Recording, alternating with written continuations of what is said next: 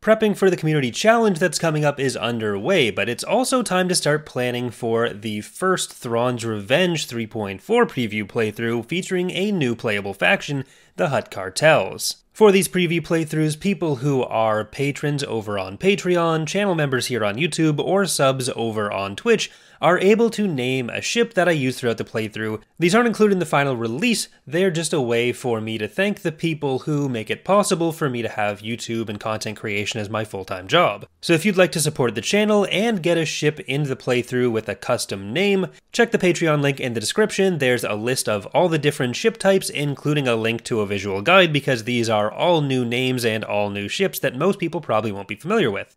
This will end up being the first of two Hutt playthroughs in this release cycle. This is going to be in Thrawn's Revenge, and then there will also be one in Fall of the Republic, which will be a little bit more polished, but both should have some cool stuff for people to see. Either way, hope you're looking forward to it. We should be able to start before the new year, and it's one that I've really been excited for, so it should be fun.